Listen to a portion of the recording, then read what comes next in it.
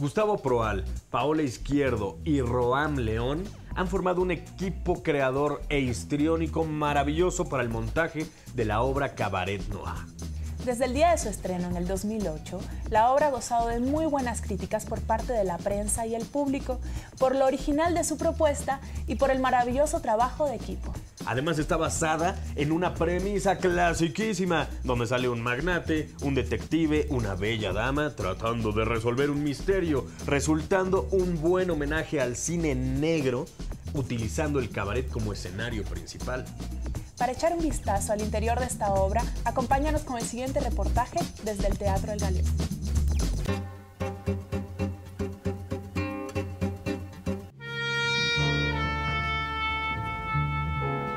Yo soy Roam León, hago el papel de John Camaney en esta obra.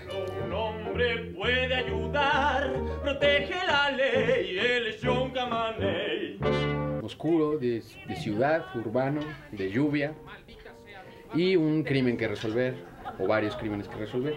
Y en este caso hemos este, tomado esta anécdota para, para hacerle parodia y denunciar algunos de los problemas que estamos viviendo ahora, como son el, este, el miedo como, como medio de control y de consumo y el petróleo como, como joya este, que quieren atesorar o que se están peleando todos los intereses mundiales.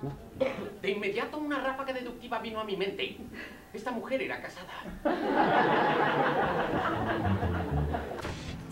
Bueno, el concepto de cabaret, eh, lo que se entiende por cabaret es lo que las reminiscencias del teatro de revista y un poco de la carpa, eh, que después se deformó y hubo, una transformación en este cliché que tenemos de cabaret de ficheras, ¿no? Lo que ahora conocemos como teatro cabaret en México es eh, derivado por una parte de, del el teatro de revista, que bueno, pues es una tradición mexicana.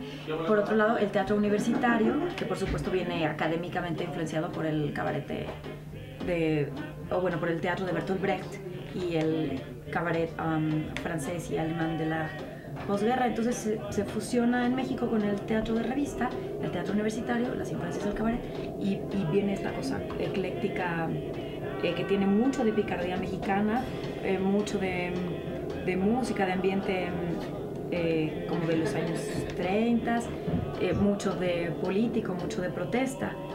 y, y que normalmente entendemos como esta estética poco, ah, bueno, de arquetipos, de hacer arquetipos, de hacer como grandilocuencia en el, en el maquillaje muchas veces. Eh, en- no en el caso de Cabaret Noir, en, en casos de otros espectáculos. Em, y ya de ahí, y aquí en México, pues los, como los grandes representantes de esta ya, que es una mezcla, pues fueron los maestros eh, Tito Vasconcelos, Jesús. Rodríguez, las siguientes eh, generaciones, bueno, bueno, claro, Street Haddad, Regina Orozco, las Reinas Chulas, y luego ahí venimos nosotros siguiendo los pasos de nuestros maestros. Y últimamente la asistencia promedio al teatro cabaret es mayor que la asistencia promedio nacional a los teatros formales, digamos. Y Es un dato muy interesante porque revela pues intereses ¿no? del público que parecen estar medio olvidados.